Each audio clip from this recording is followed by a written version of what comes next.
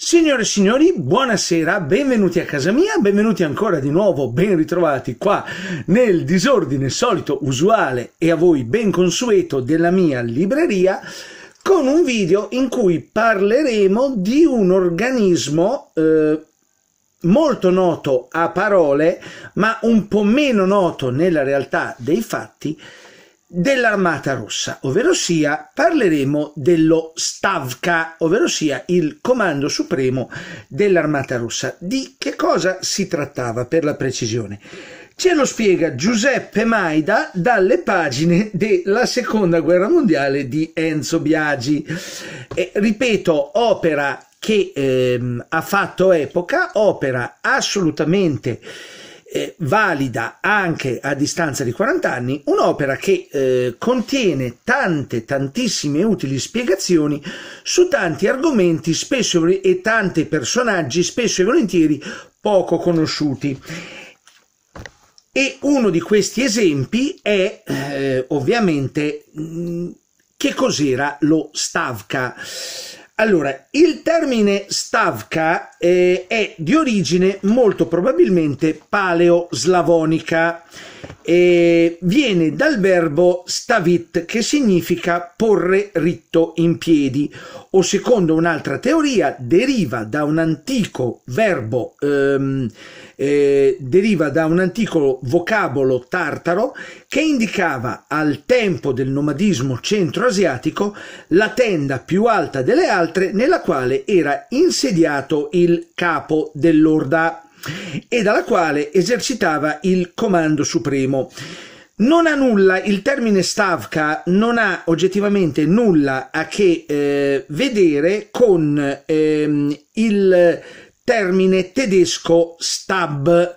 È un'opinione molto diffusa che Stavka derivi dal termine tedesco Stab, che, in, ehm, che originariamente significava eh, bastone e che assumerà più tardi il senso di bastone di comando e successivamente di organo di comando, cioè quello che in Italia si chiama Stato Maggiore di quello che nei paesi anglosassoni si chiama staff ok?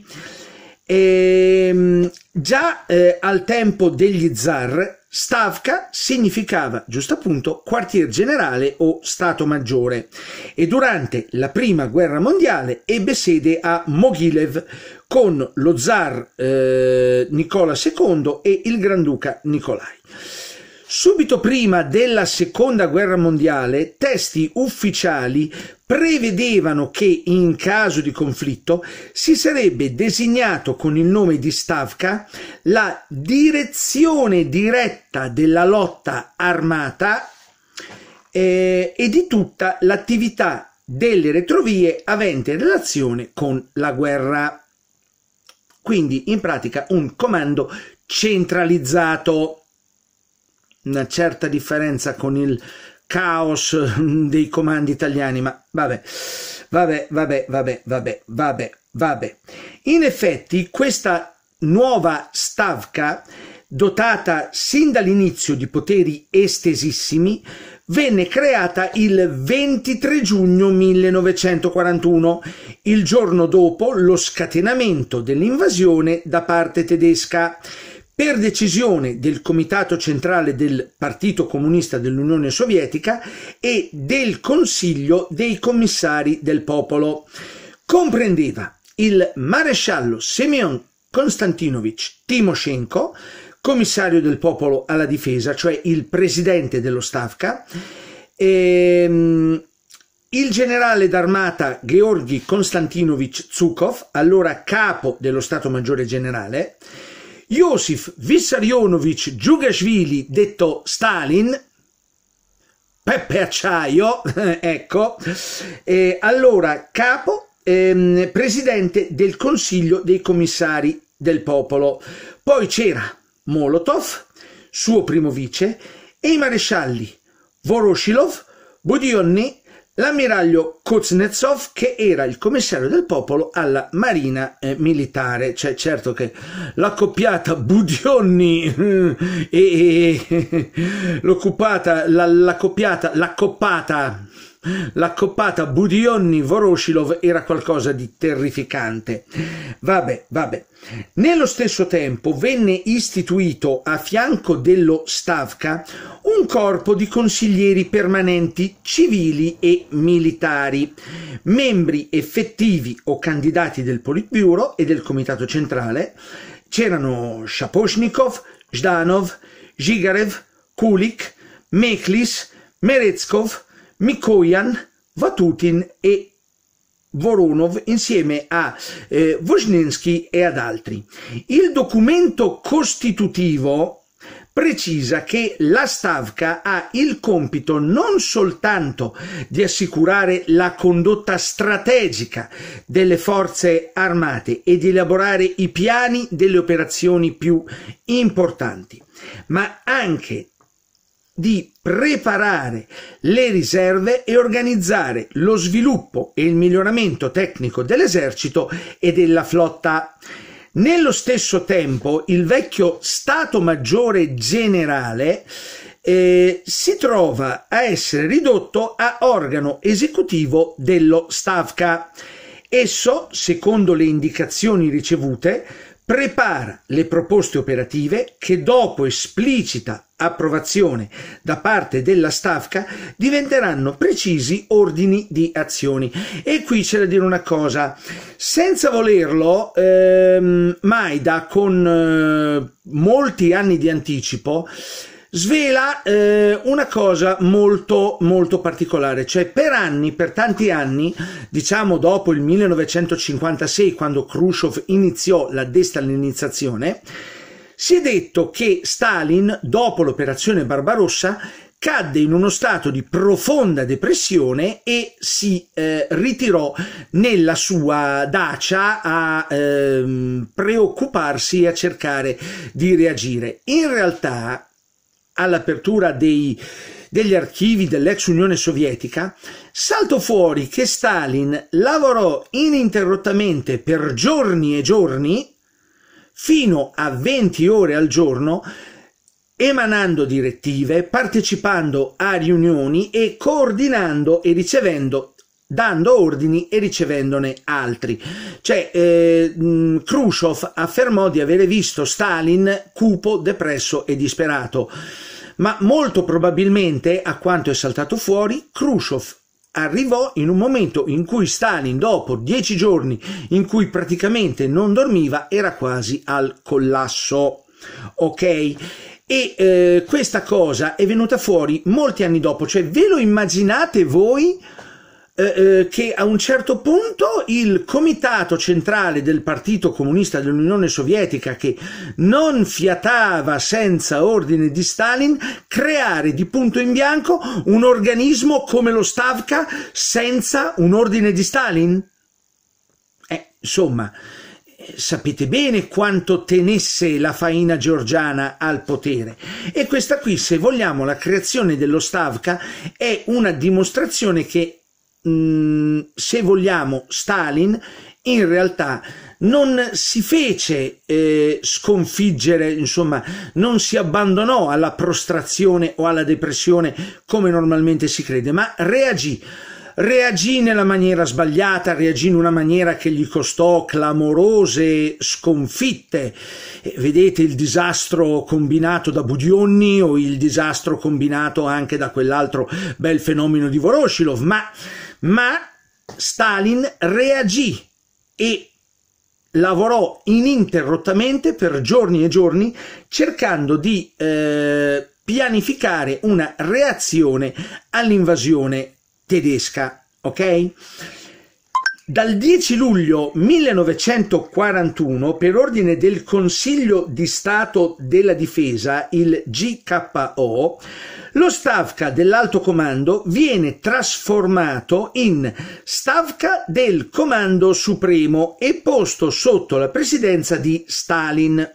Ne fanno parte Molotov, lo zio Venceslao Martello, ehm, Timoshenko, Budionni, l'uomo che era salito talmente tanto in alto e talmente tanto repentinamente da farsi mancare l'ossigeno al cervello. Vabbè. Voroshilov, uno dei eh, più rivoltanti figuri della,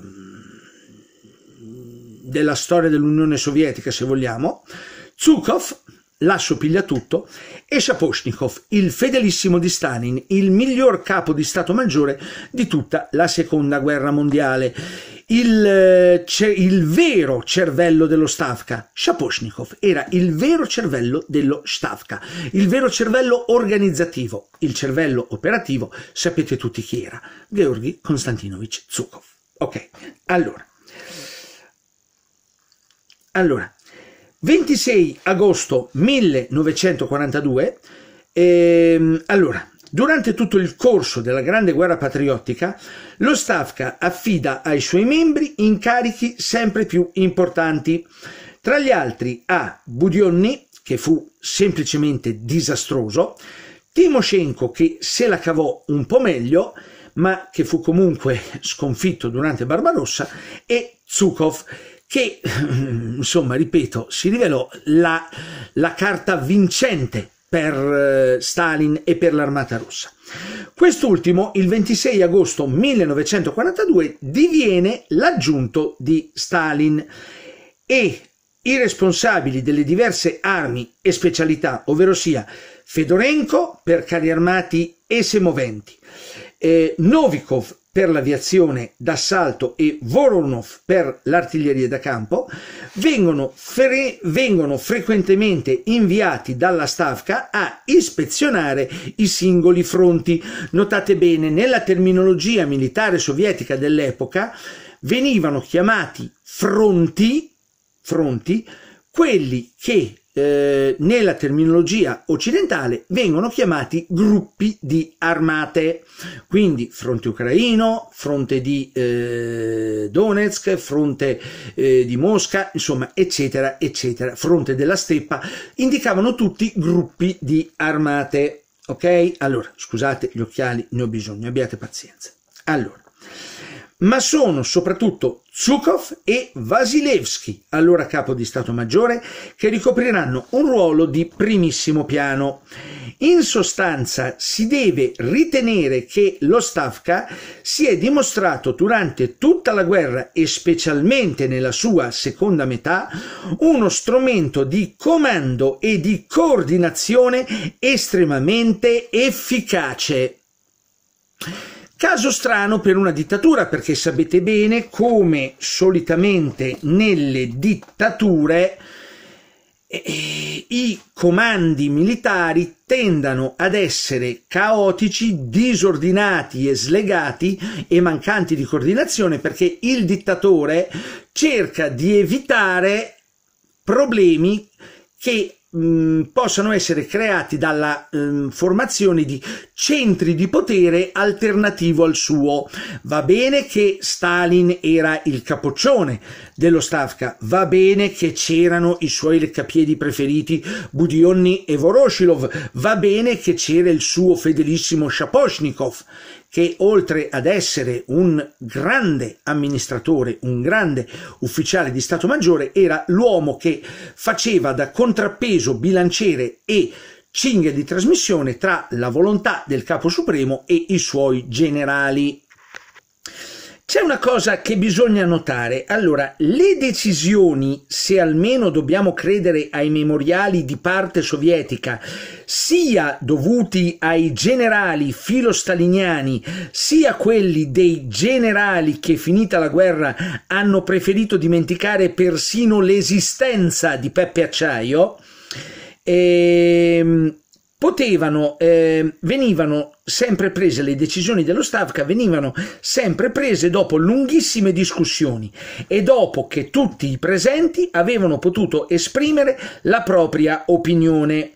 E fu tenuta in gran conto non solo l'opinione dei membri permanenti, ovvero sia i politici più legati a Stalin, vedi ad esempio Molotov, ho fatto prima i nomi di Budionni e Voroshilov, che erano i leccapiedi militari di Stalin, ma anche eh, via lo zio Venceslao Martello, Molotov, era un altro fedelissimo, totale e assoluto di Stalin. Okay? Uno era lo starace Molotov, era lo starace di Stalin. non respirava senza un suo ordine, ok? Ehm, allora, ma oltre ai politici, oltre ai fedelissimi di Stalin, veniva sempre ascoltata anche quella di personalità, l'opinione anche di personalità esclusivamente tecniche come Bagramian, Koniev, Maritskov, Rokossovsky o Antonov, il futuro capo di Stato maggiore, che spesso venivano convocati dal generalissimo, a, eh, ehm, dal generalissimo peppone, baffone, acciaione e fumatore di pipa d'Unil, che eh, era il capo assoluto, anche se Stalin era estremamente pragmatico. Stalin aveva le sue idee, ma sapeva bene di non essere propriamente un genio in fatto di guerra. Sapeva, Stalin era, mettiamola così, i, i dittatori raramente sono stupidi, ok? I dittatori sono intelligenti, sono furbi, i dittatori però spesso e volentieri cadono in certe trappole. Stalin in certe trappole riuscì o ebbe l'intelligenza di non caderci, perché in una situazione come quella dell'Unione Sovietica durante la Grande Guerra Patriottica, Stalin sapeva benissimo, soprattutto dopo le prime disastrose sconfitte, eh, diciamo, dell'estate 1941, Stalin imparò a tacere, imparò ad ascoltare, imparò a rispettare l'opinione dei professionisti, l'opinione dei generali famosa mh, mm, per dimostrare come Stalin teneva lo Stavka è famosa una eh, discussione che ebbe con Rokossovsky. Eh, praticamente Stalin eh, proponeva, mm, aveva, mm, aveva, alcune idee per un'offensiva, Rokossovsky aveva, aveva idee completamente diverse. Rokossovsky, che tra l'altro era stato nei gulag durante le purghe, era stato cacciato nei gulag e sfuggì pertanto così alla fucilazione, ok? Rokossovsky prese e disse semplicemente compagno Stalin, la sua idea è sbagliata. Stalin lo guardò e disse compagno Rokossovsky, vada fuori e rifletta su quello che ha detto. Rokossovsky esce torna dentro e Stalin gli chiede, compagno Rokossovsky, ha riflettuto sul, su, sulle sue opinioni? Certo, compagno Stalin, e rimango della mia opinione. Compagno Rokossovsky, vada fuori e pensi ancora. Rokossovsky torna dice di essere rimasto della sua idea e spiega il perché la sua idea è migliore di quella di Stalin. Stalin lo guarda e gli dice semplicemente Bene, compagno Rokossovsky, se questa è la sua idea, faccia pure. E Rokossovsky conseguì una grandissima vittoria. Il, eh, e Stalin, eh, ripeto, la furbizia, l'abilità di Stalin come capo, eh, diciamo come capo militare è questa, cioè sapeva capire, cioè sapeva sfruttare le idee degli altri, rispettava chi sapeva tenergli testa e quella di Rokossovsky non è certo l'unica, cioè Ro- mm, Stalin aveva sì, ripeto, i suoi leccapiedi personali, Bodionni, Voroshilov, Molotov, eccetera.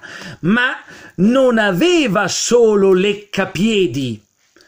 Stalin, che sapeva di essere poco, poco competente in materia militare, seppe circondarsi da gente brava. Zukov, Koniev, Vatutin, eccetera, eccetera, eccetera. Gente che la guerra poi alla fine la vinse in suo nome. Va bene. L'intelligenza di Stalin come capo militare è in questo, cioè dare suggerimenti, accettare paradossalmente, accettare le critiche se portate nel modo giusto. Ripeto, Stalin, messo sotto pressione, messo sotto pressione durante la Grande Guerra Patriottica, si rivelò eh, condottiero e capo di Stato sorprendentemente pragmatico, sorprendentemente, eh, diciamo, mh, capace di... Eh, come dire, capace di equilibrio.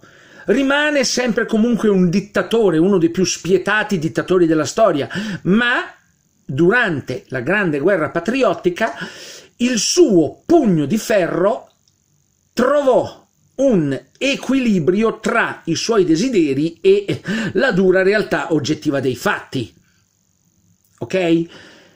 Dopo gli errori gravissimi che costarono perdite spaventose durante la guerra d'inverno, durante la, la campagna di Barbarossa, Stalin capì che doveva lasciare mano libera ai professionisti. Ascoltava, valutava, studiava, cercava di capire dava retta a Shaposhnikov che in fatto di eh, gestire uno Stato maggiore era assolutamente un asso inarrivabile, ripeto, Boris Mikhailovich Shaposhnikov fu molto probabilmente il miglior capo di Stato Maggiore della Seconda Guerra Mondiale, uno dei migliori, eh, diciamo, pianificatori di tutta la Seconda Guerra Mondiale, al pari di Alan Brooke per, il, ehm, per lo Stato Maggiore Imperiale Britannico e al pari di George C. Marshall in America. Era un, eh, era un organo, lo Stavka, che funzionava bene, era probabilmente l'unico organo democratico di tutta la Russia staliniana. Cioè, perché, ripeto, Stalin, Stalin conosceva il valore dei suoi collaboratori, ne apprezzava, ne apprezzava le capacità e soprattutto, e soprattutto seppe essere durante la seconda guerra mondiale estremamente pragmatico, estremamente lucido e molto capace nel gestire la situazione. C'è anche da dire che era, come dire, la sua era anche una strategia di comportarsi con i suoi generali una strategia piuttosto carogna, cioè lui dava dei suggerimenti, i generali dicevano va bene, gli obbedivano, se andava bene il merito era di Stalin, se andava male la colpa era dei generali. ok. Rokossovsky era uno di quelli che sapeva tenergli testa, lo era anche Zukov, perché Zukov oggettivamente parliamo di quello che è molto, molto probabilmente il più grande generale della seconda guerra mondiale. Zukov è indubbiamente a parere degli storici militari seri, seri, Zukov è molto probabilmente uno dei migliori condottieri da campo di tutta la storia dell'umanità. Non per niente è stato l'uomo che ha messo in atto quella cosa che si chiama Operazione Bagration, la più grande offensiva della storia. Ok? Quindi, cari signori, la storia dello Stavka più o meno è questa qua. Adesso, cari miei, tocca a voi. Qua sotto Fatemi sapere che cosa ne pensate, ditemi qual è la vostra opinione. Se non siete iscritti al canale, iscrivetevi immediatamente e cliccate sulla campanellina degli avvisi. Io vi ringrazio tantissimo per, per l'attenzione, vi auguro una buona serata e come sempre arrivederci al mio prossimo video e soprattutto ciao!